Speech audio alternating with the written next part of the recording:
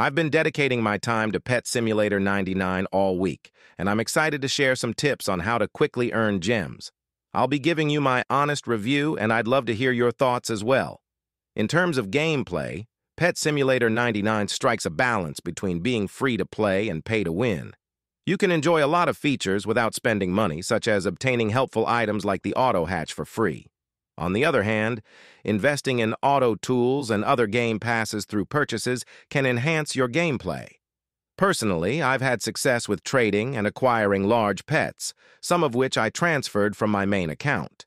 I've been advocating for trading since before the game's release, and if you followed that advice, you likely made a wise decision. To boost your gem collection, be sure to claim the free daily ticket. You can use these tickets for spins, and if you're not interested, you can sell them for around 10,000 gems to 35,000 gems. The spin feature adds an element of fun, though luck plays a role. One strategy I found effective is buying keys from merchants scattered around the map.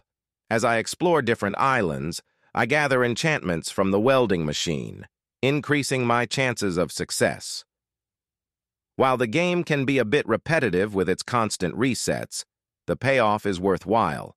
You may find the daily spin and key gathering enjoyable, Additionally, participating in my live streams on weekends can earn you points, which you can use to redeem pets, gems, and more.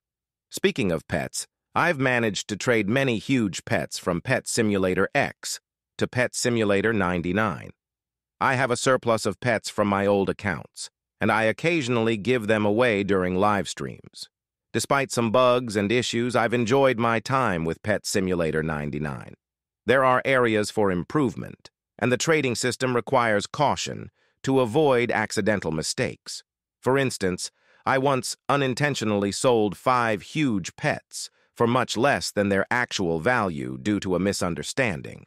Overall, the game has its quirks, but it's a good experience. Keep an eye out for my live streams if you're interested in getting some free pets. Thanks for watching, and I'll catch you in the next one.